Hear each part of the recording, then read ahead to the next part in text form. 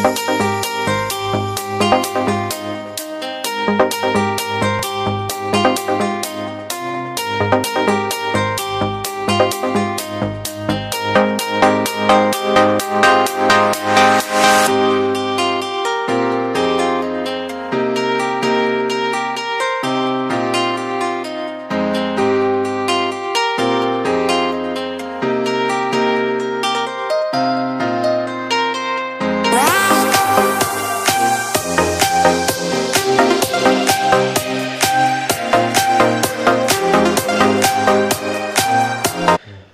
Hello, everybody. We now have donuts. Finally, we got all sorts. VG's was open. They were out of glazed donuts. They were out. They had like nothing actually. It was weird, but yeah, we got. I think we got six chocolate frosted. Clayton got some fruity donuts. I don't know what he got. And then I got an old fashioned glazed donut because I just wanted one glaze. And the phone has to ring. So yeah, we're gonna eat them.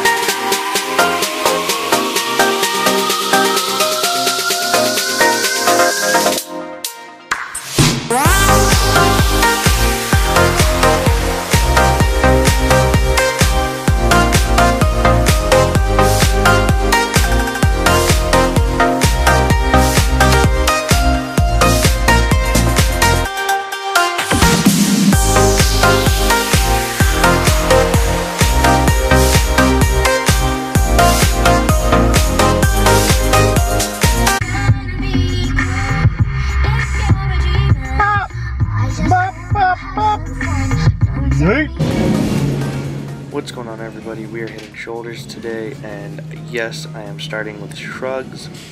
I actually have seen this from a couple people on YouTube, actually, and they hit shrugs before they hit all their lateral raises to take out any part of your trap being um, being used over your lateral delt instead. And so, because of that, I figured why not burn out my traps at the very beginning of my workout so then any lateral raise I do will be focused primarily on that side delt over having trap engagement, which is obviously not what you want when you're hitting shoulders. And so I did three or four sets in front with that Smith machine because there wasn't an open rack. And then I did another three sets with dumbbells here. I was doing 80 pounds, just sets of 15 to 20 to really just burn out my traps. After doing all those shrugs and burning out my traps, I decided to do my normal warm-up, which you guys have probably seen in all my videos, where I'll do about two or three sets of lateral raises, just super light, just getting some blood in there. And I'll do those single arm with the cable just because I feel like that isolates it very well. I always keep my feet super close to it and hold on and lean away from it. And that just helps me really isolate that side delt to warm up and then as you guys know I always follow that up with my front delt raise. And now my front delts are weird because that's part of the iffy situation with my shoulder. My doctor never really gave me the straight okay to do front raises but he never said that was bad. He more said stay away from pushes. And so I've been doing really light front delt work and it hasn't really bothered my shoulders so I don't really see a reason why I shouldn't do it as long as I stay light and be safe about it.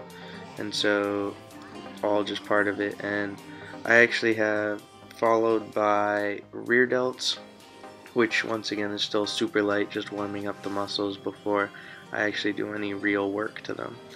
And so that's the end of my shoulder warm up as always and then after that I do my tricep seated with about 15 pound dumbbells.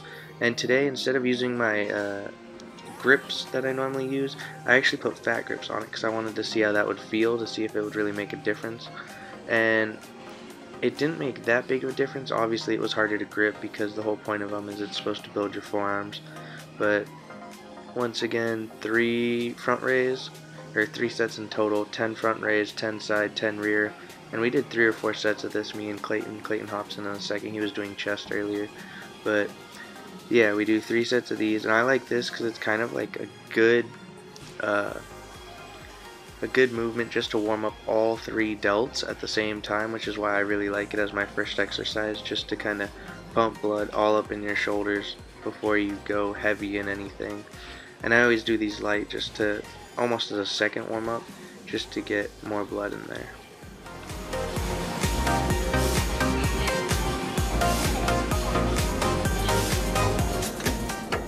After doing my seated dumbbell tricep, I move on to the machine lateral raise, and I really like this because I'll do about a double drop set where I'll take a heavy weight, do about 12, then I'll drop a set, do 12 again. Well, my goal is to hit 12 every time, obviously, but I don't always hit it. But So then I'll drop it 12, so I've done 24 reps. Then I'll drop it one more time, which should be considerably easy, and then I'll do one more set of 12.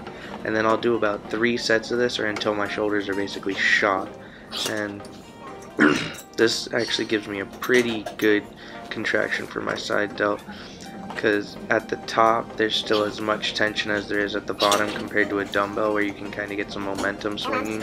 The machine kind of keeps it more stable throughout the movement. And after we hit our side delts of course we want to hit all heads of the delts. So we go to the rear delt on the pec deck and these I try to focus. I put my hand, Clayton does them a little differently, but I kind of keep my hand almost on the straight down bar and I have my thumbs pointed down, pinkies pointed up because that gives me the best stretch and pull on my rear delt. And so I'll do four sets of 15 on these.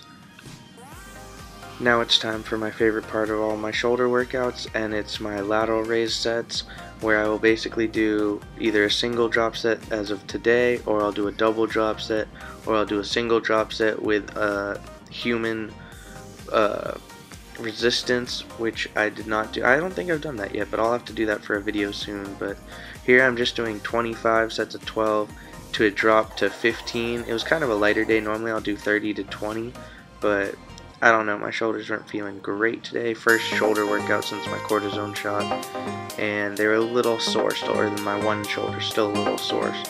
And so me and Clayton just went back and forth for about four sets of this. Really trying to pull with the elbow to focus on keeping all the tension on the side delt and trying to have minimal trap uh, takeover.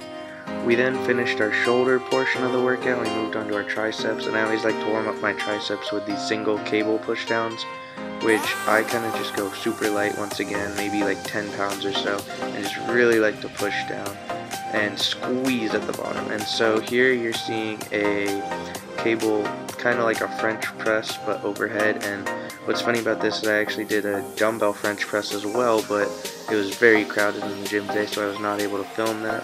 And now this long clip you're seeing, I always like to finish my triceps off with just cable pushdowns, and I'll do a ton when basically I'll go as heavy as I can for 12 reps, and then I will wait 10 seconds, and then try to hit 12 reps again, and then I will repeat this till I can't hit 12 reps, and then I drop the pin one and wait another 10 seconds, and then go at it again.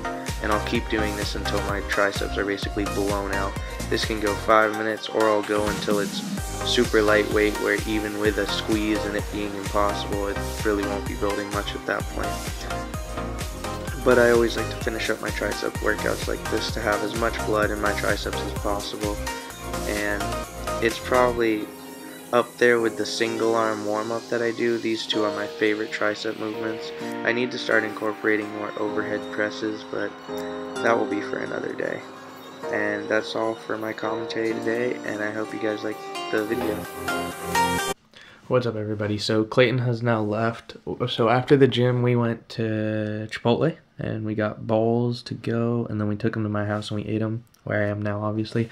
And then I showered, and then me and my mom are going to go to dinner, so I'm actually going to cut it here. But thank you guys so much for watching and subscribing. I'm super stoked that it's kind of growing. I'm happy with it. I love just basically trying to entertain people and keeping the videos going. And I have a lot of fun making them, so I'm gonna keep making them to the best of my abilities and trying to improve every day. But thank you guys so much for watching. And I know a lot of people are going back to school like I am. I'm not excited, but good luck to everyone who has school coming up. And yeah, thanks for watching.